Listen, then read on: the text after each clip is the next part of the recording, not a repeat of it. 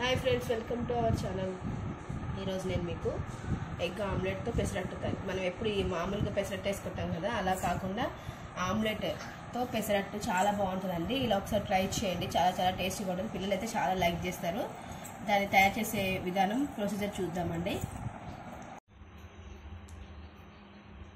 తయారీ విధానం తెలుసుకుందామండి. ముందుగా ఒక రోజు నైట్ నానబెట్టుకున్న పెసర్లు కొన్ని కొన్ని ఒక కప్పు పెసర్లు అయితే ఒక గుప్పెడు బియ్యం వేసుకొని మొత్తం టూ టైమ్స్ వాష్ చేసుకొని నానబెట్టుకున్నానండి. నానబెట్టుకున్న తర్వాత రుబ్బేసి ఇందులో పచ్చిమిర్చి అల్లము ఉప్పు వేసి సాల్ట్ వేసేసి మిక్సీ పట్టుకున్నాం మెత్తగా చూడండి ఇది. ఇందులో ఇప్పుడు కొంచెం జీలకర్ర వేద్దాం. కలుపుకుందాం. ఎగ్ రెండు ఎగ్స్ వేసుకొని బీట్ చేసుకున్నాను. ఇందులో కొంచెం జీలకర్ర వేద్దాం. కొంచెం సాల్ట్ కొంచెం సాల్ట్ ఎందుకంటే చూసి వేసుకోవాలి. ఆల్రెడీ మనం పెసరట్టు మిశ్రమం వేసేసుకున్నాం కాబట్టి లైట్గా వేసుకోవాలి. ఎక్కువ వేసుకుంటే మళ్ళీ ఇబ్బంది. కొంచెం పసుపు వేసుకొని కలుపుకోవాలి. చాలా బాగుంటుంది. చాలా టేస్టీగా ఉంటుంది. కొంచెం పించ్ ఆఫ్ కారం. ఎక్కువ తినే వాళ్ళైతే ఎక్కువ వేసుకోండి. తక్కువ తినే వాళ్ళు తక్కువ వేసుకోండి. ఒక పించే. పిల్లలకు కాబట్టి నేను పిల్లలకు చేస్తున్నాను. అందుకే కొంచెం తక్కువ వేసాను మొత్తం ఒకసారి మంచిగా ఈ కారం అంతా కలిసేలా బీట్ చేసుకోవాలి. స్టవ్ పై ప్యాన్ పెట్టి స్టవ్ వెలిగించుకుందాం కొంచెం వేడవ్వాలి ప్యాను.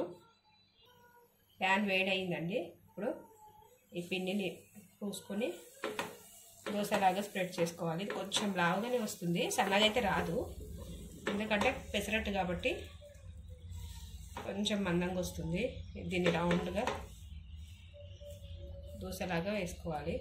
ఈవెన్గా మధ్యలో ఎక్కువ పిండి ఉండకుండా సిమ్లో పెట్టి కుక్ చేయాలండి ఇది.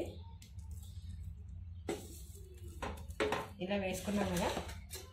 ఇప్పుడు దీనిపై మనం ముందుగా చేసి పెట్టుకున్నాం కదా దోశ వేసు అది ఎగ్ మిశ్రమం. ఈ పెసరట్టుపై వేసుకోవాలి. చాలా బాగుంటుంది. ఇప్పటిదాకా ఎవరు యూట్యూబ్లో చెప్పలేదు అనుకుంటా నాకు తెలిసి మేబీ. చాలా చాలా బాగుంటుంది. టేస్ట్ సూపర్ అంటే సూపర్గా ఉంటుంది. పెసరట్టుకు మీరు నానబెట్టినప్పుడల్లా మీ పిల్లలు ఇదే చేయమని అంటారు. చాలా బాగుంటుంది. తప్పక ట్రై చేసి మీ కామెంట్స్ పెట్టండి.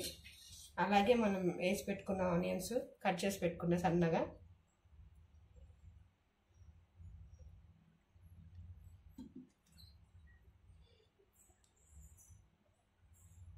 క్యారెట్ తురుము.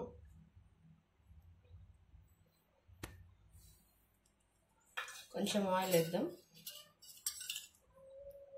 ఎందుకంటే ఆమ్లెట్ వేస్తున్నాం కదా ఆయిల్ వేస్తేనే బాగుంటుంది నీసు వాసన రాకుండా.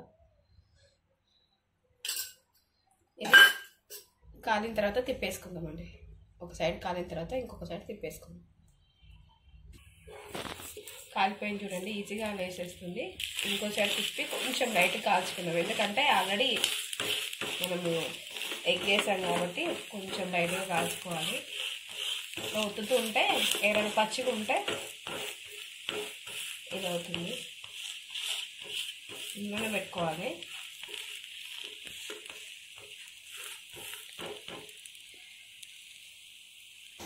చూడండి ఇతరులు కూడా కాలిపోయింది. ప్లేట్లోకి తీసుకుందాం. ప్లేట్లోకి తీసుకుందాం. ఇలా ఇంకొకటి వేసుకుందామండి. రెడీ అండి మీకోసం ఎగ్ ఆమ్లెట్ పెసరట్టు. చాలా చాలా టేస్టీగా ఉంటుంది. ఇది అల్లం చట్నీ కానీ పల్లె చట్నీతో కానీ తిన్నా బాగుంటుంది. ఇలా ఉత్తగైన పిల్లలకైతే ఇట్లా అయినా చేయొచ్చు. ఎందుకంటే ఆల్రెడీ కారం పొడి జీలకర్ర క్యారెట్ ఉల్లిపాయ మనం అన్నీ వేసాం కాబట్టి పిల్లలైతే ఇట్లా అయినా తినేస్తారు. మనకైతే కొంచెం అల్లం చట్నీ లేదా పల్లి చట్నీతో తినొచ్చు. చాలా బాగుంటుంది. తప్పక ట్రై చేసి మీ కామెంట్స్ పెట్టండి. మీకు కనుక ఈ వీడియో నచ్చినట్లయితే లైక్ చేసి సబ్స్క్రైబ్ చేసి పక్కన బెల్ ఐకాన్ని క్లిక్ చేయండి. బెల్ ఐకాన్ని క్లిక్ చేస్తే నా నోటిఫికేషన్స్ అన్నీ ఫస్ట్ మీకే వస్తాయండి. Thanks for watching bye